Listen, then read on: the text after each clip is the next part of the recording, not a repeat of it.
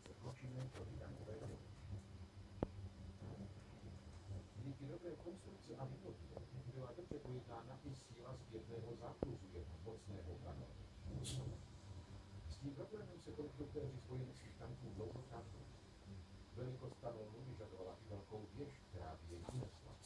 Zavážila přibližně 14 tun a vyžadovala velmi silný prstenec na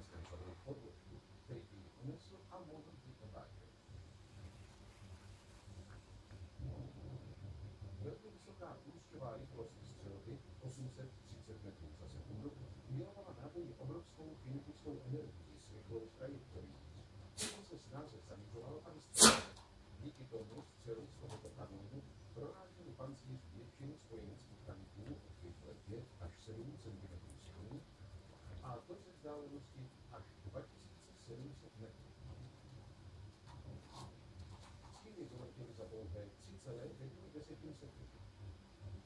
Protivník zavlédl záblesk z hlavně titulu vzdáleného 2,5 km, měl na zareagování necelé 4 vteřiny.